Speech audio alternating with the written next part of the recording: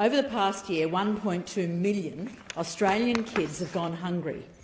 Right now, 3.3 million people are struggling to pay their bills, living below the poverty line in Australia. More and more Australians are just one big medical problem, a couple of missed shifts, another interest rate rise away from complete disaster. And yet, and yet, the big banks brag about record profits. Coles and Woolies have profiteered to the tune of billions, coal and gas companies paying nothing in tax.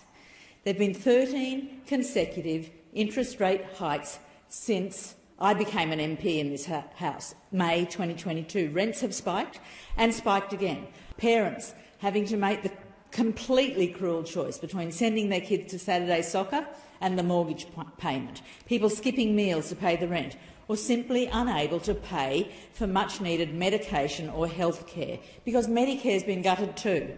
Where's the support when times are tough? What's this government's response? It's a new committee.